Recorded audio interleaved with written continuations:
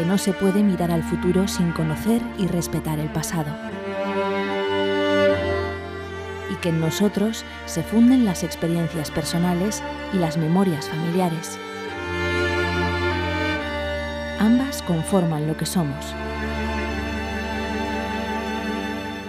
Por eso los cementerios son lugares a los que ir, para encontrarse con quienes ya no están,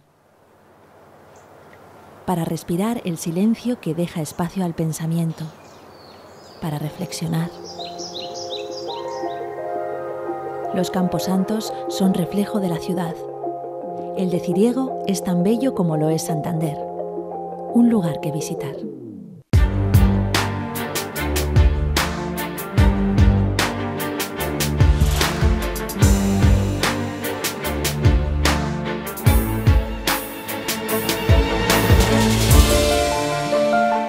Oeste de Santander, con unas espectaculares vistas al mar Cantábrico, el cementerio de Ciriego es una de las necrópolis más bellas de España y forma parte de la Ruta Europea de Cementerios por su rico patrimonio.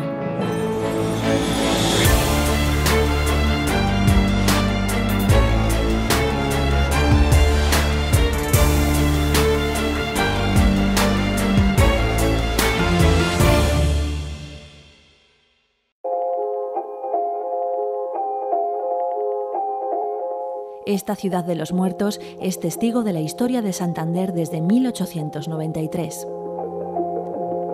Además de los recuerdos familiares de los santanderinos, Ciriego custodia una valiosa colección de patrimonio cultural. Panteones, sepulturas y monumentos con valor artístico que son ejemplo de la riqueza de la producción funeraria del país. Un museo a cielo abierto.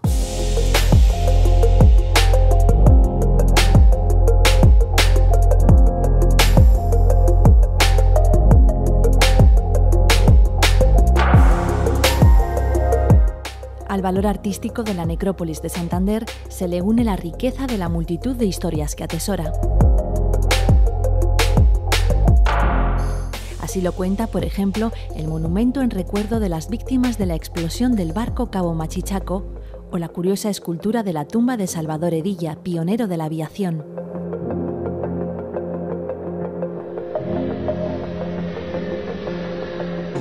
En Ciriego reposan los restos de ilustres de la cultura española, como Carmen Amaya, primera figura del baile flamenco.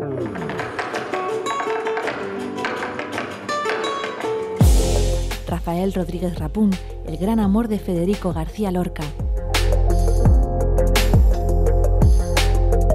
También yace aquí el científico naturalista Augusto González de Linares y la familia Jope, magníficos documentalistas de la historia reciente de Santander. El cementerio de Ciriego es un reflejo también de la cultura inmaterial vinculada al desarrollo de las tradiciones funerarias.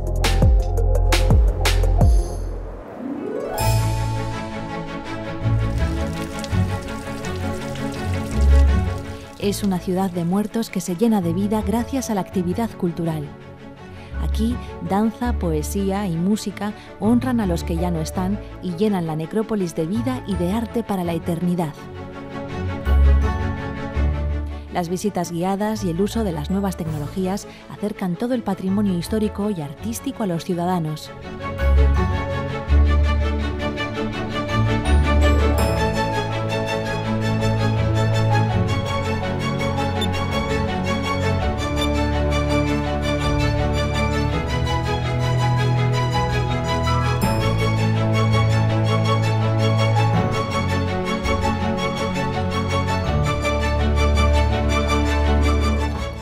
Forma de disfrutar de una ciudad dentro de la ciudad.